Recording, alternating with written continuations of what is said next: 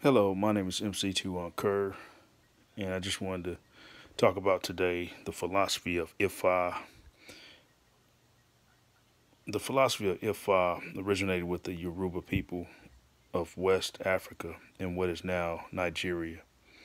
Ifa mythology relates that the creation of humankind arose in the sacred city of Ile Ife, just outside of what is now Lagos the Yoruba created a highly sophisticated city state empire, which, according to many anthropologists, was on a par with that of ancient Athens.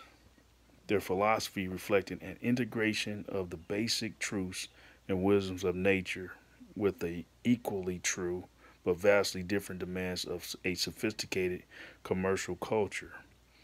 Ifa was not a product of superstition, ignorance, or lack of education, but of years of practice and refinement by successful, intelligent, and highly educated men and women who used it for the simplest of reasons, and it worked.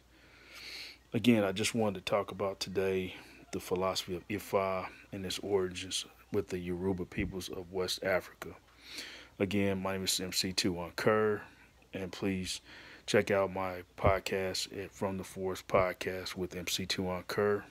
This is uh, I'm just reading from the book The Way of the Orisha, empowering your life through the ancient African religion of Ifa. Thank you.